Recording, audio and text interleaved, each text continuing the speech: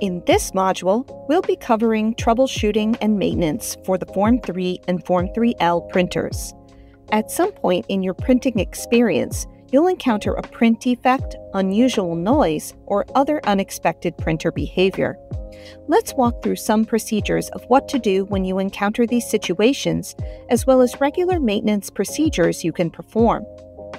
Formlabs is constantly striving to improve printer functionality and performance, which we release through software and firmware updates.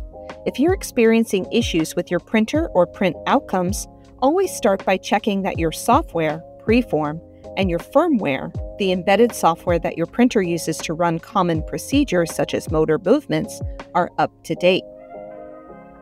When a new version of Preform is available, a pop up window will appear to alert you and help you update to the latest version. Below will be release notes about what changes were made in the latest version of Preform. You will have the option to install the update immediately. It is highly recommended to check the box to automatically download and install updates to ensure Preform always remains current.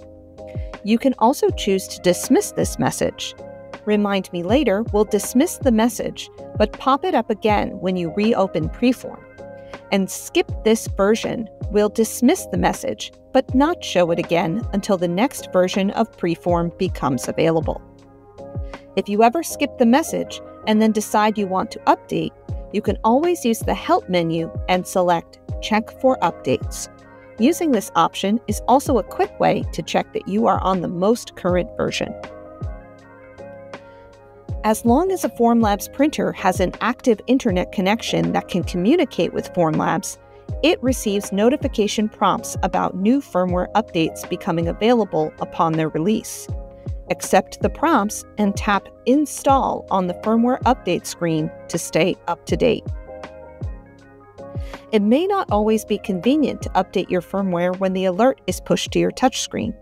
If you ever skip the firmware update message, or if your printer is not connected to an outside internet connection, you can always update via Preform.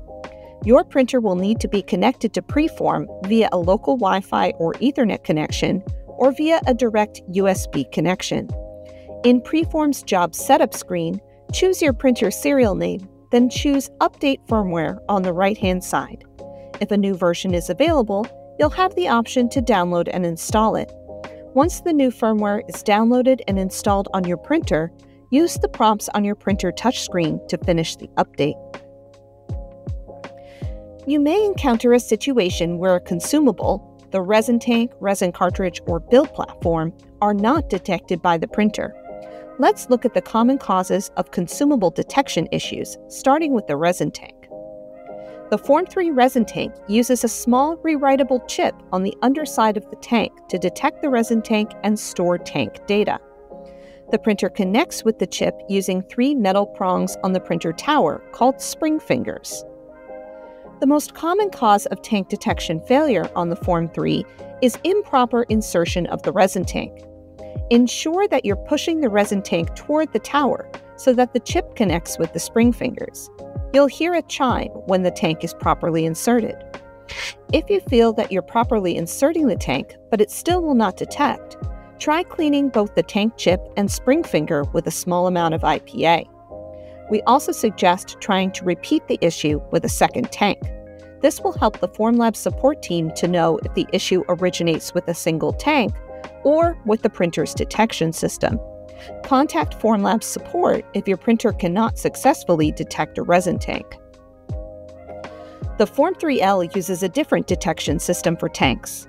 Each resin tank has an RFID sticker attached to the back wall of the tank frame that interacts with the sensor on the printer's tower. If your tank is fully inserted and there is no tank detection, check if the RFID sticker is damaged or missing. As with the Form 3, Always check to see if the issue is repeatable with another resin tank, and contact Formlabs support for assistance if you cannot get a resin tank to detect on your printer. Resin cartridge detection is the same on both the Form 3 and Form 3L. Just like the Form 3 resin tank, the resin cartridge uses a chip that connects with spring fingers. If a resin cartridge will not detect, Cleaning the chip and spring fingers with IPA can sometimes help. As with the resin tank, check for repeatability of the issue and contact Formlabs support if you cannot get a resin cartridge to detect. Build platform detection on the Form 3 is done via the build platform sensor on the Z tower. This small flag is pushed in when the build platform is inserted and locked, and connects with a limit switch board directly behind it. The limit switch detects the presence of the build platform and helps the build platform know when it has reached the top of the Z tower. It is very rare that the build platform detection system on the Form 3 malfunctions, so it is best to contact Formlabs support if you cannot get a build platform to detect. Build platform detection on the Form 3L is performed just like the Form 3L resin tank. There is an RFID sticker inside your build platform that interacts with a sensor at the top of the tower. Occasionally, issues with the RFID sticker or the sensor board can appear, causing the printer to not sense the presence of the build platform. As with other issues, trying to see if it repeats across more than one build platform aids in troubleshooting. Contact support for assistance with these issues. While you wait for your detection issue to be resolved, you can turn off build platform detection on the Form 3L by going to Settings, indicated by a gear, Printer Details, Subsystems, and turn off build platform detection you will be asked to manually confirm that your build platform is inserted and ready for the next print. So be sure to press Yes, it's ready only if a clean platform is in the printer. Turning off build platform detection does come with the risk that a user could start a print with no platform installed if they confirm the message without installing a clean platform. In the course of printing, you'll likely experience a time where your print doesn't come out the way it should. Now that you understand how the Form 3 and Form 3L print process works from the previous module, let's look at some common ways that defects can appear in your prints. First, an explosion is when a small void appears in your part. This can sometimes grow larger as the print continues to build. An explosion happens when a layer or a part of a layer adheres to the tank and fails to peel properly away. Because this layer is stuck to the tank, it blocks the laser light from continuing to cure future layers, creating a void in your part. Explosions are most often caused by unsupported minima, which you learned about in the preform module. Make sure your print has passed printability checks for unsupported minima, or add more support to the spot of failure. Next, delamination is when a layer only partially adheres to the rest of your build, but partially peels away. It doesn't stick to the tank, but it can still cause a defect in your part. Delamination is almost always caused by poor orientation. Printing parallel to the build platform can cause delamination. Orienting your parts at an angle can help prevent delamination from occurring. Next, a blowout failure is when suction-like pressure blows a hole in a thin wall of a part. This is almost always caused by cupping, where hollowed areas create a suction cup effect with the flexible tank film. Always check preform for cupping warnings and reorient parts to remove cups. Finally, non-adherence failures are when the first layers of your part fail to adhere to the build platform. In some cases, the first few layers will be stuck to the tank, blocking the laser and preventing the rest of the part from building, and in others, the peel forces pull the raft or part of the raft off the build platform, causing it to fall in the tank. This is most often caused by contaminated optical surfaces, such as a dirty optical window or contaminated or damaged resin tank. If your print fails, you will need to do some checks before starting your next print. If you would like your failure evaluated by the Formlabs support team, take some pictures of your failed print on the build platform prior to removing it. Failed prints should still be washed to remove excess resin before disposing of them in the trash. Next, remove the tank from the printer and place it in the tank storage box or on a clean work surface. Use the tank tool to inspect your tank, moving resin aside to check for adhered material. If there is adhered material, called a pancake, you can use the tank tool or a gloved finger to release the pancake and pull it out of the tank. Alternatively, you can run a cleaning mesh, which will print a mesh structure adhered to the tank. The mesh can then be removed as one piece, picking up any pancakes along with it. Never use the scraper, tweezers, or any sharp tools to remove print failures, as you could damage your resin tank. Next, inspect your resin tank for any potential tears or punctures. The resin tank film is double layered. Punctures in the top layer of the film will result in a transparent mark where air and resin is trapped between the tank film layers. If you inspect the underside of the tank, you will see no mark or resin leakage. To prevent further damage, this resin tank should be replaced. A tear or puncture that goes through both layers of film will cause resin to begin leaking into the cavity of the printer. When removing the resin tank for cleaning and inspection, it's important to look into the printer cavity and check for drips of resin that might indicate a full tank puncture. Tanks with full thickness punctures should always be replaced. A resin spill, whether a few drops or a larger spill, should be cleaned immediately. Use paper towels to soak up any spills first, then use IPA and paper towels to dissolve resin and wipe it away. Cotton tipped swabs can help you get into tight areas. Shining light into the cavity can help identify spilled resin you may miss. If your resin spill is large, take pictures and contact Formlabs support. Keep the printer cover closed to prevent resin from curing until you receive guidance. There are a few situations where you may need to clean the glass optical window on the top of the LPU. It can be performed as a regular monthly maintenance procedure when directed by Formlabs support to correct print failures, or if you experience a resin spill that has leaked onto the glass. Any contamination on your optical window could diffuse or refract laser light, leading to print defects. To start, move the LPU into its maintenance position. On the Form 3 printer touchscreen, tap the Settings menu, indicated by a gear icon, then Maintenance, then Motor Moves. On the Form 3L menu, as shown in this video, press the Maintenance button, then Motor Moves. Press and hold the left arrow to move the LPU out of its garage until it reaches the middle of the build area. Raising your finger off the touchscreen will stop the movement. Shine a secondary light source, for example, a flashlight, LED, or cell phone light, onto the optical window to reveal any hidden contamination on the glass surface. Hold the light source at the shallowest angle possible.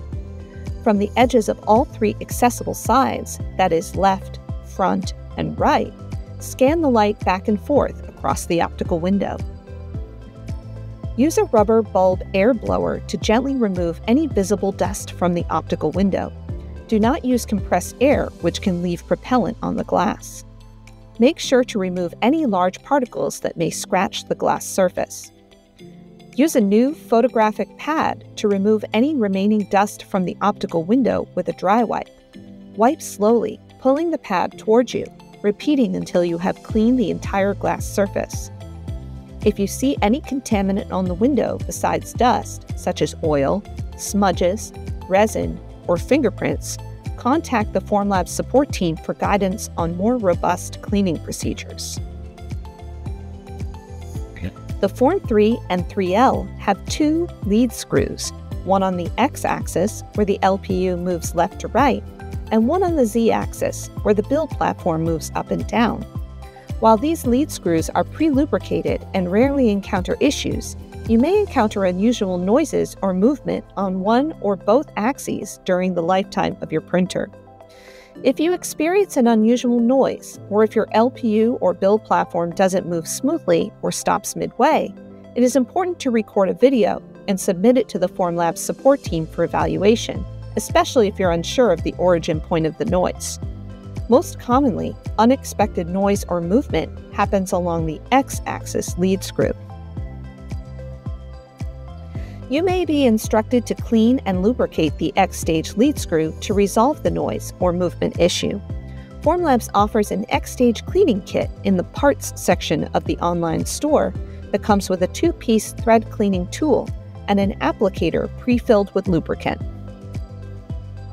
Before beginning this procedure, make sure to disconnect your printer from power. Please note that while it is not shown in the example images, Always wear gloves when doing maintenance procedures on your printer. To start, use a low fiber paper towel or microfiber cloth to remove any excess lubricant or debris from the screw. Attach the thread cleaning tool to the far left side of the lead screw by placing one piece below the screw and one piece on top of the screw, clicking the two pieces together to encompass the screw entirely. The tool should snap close without any significant resistance and should spin freely on the lead screw. When installed properly, the arrow on the cleaning tool will point to the right. Spin the thread cleaning tool to move it along the lead screw, which will loosen any debris embedded in the threads. Once it has reached the right side of the cavity, unclip the tool from the screw. This tool can be cleaned and reused. Repeat the process of wiping debris from the lead screw with a low fiber paper towel or microfiber cloth. Now that the screw has been cleaned, take the housing off the lubricant applicator to expose the lubricant then smear it onto the lead screw. Once the screw is greased, close the cover and power on the printer. The LPU will make its pre-check movement from left to right, which will disperse the lubricant evenly on the screw. While this procedure is typically done only as needed, it can be performed once every 12 months as part of a regular printer maintenance schedule. Finally, it is important to regularly check your consumables. Resin tanks should be inspected regularly for damage and wear, preferably before you begin any print. Always pay attention to tank lifetime warnings indicated by your printer and replace expired resin tanks when indicated.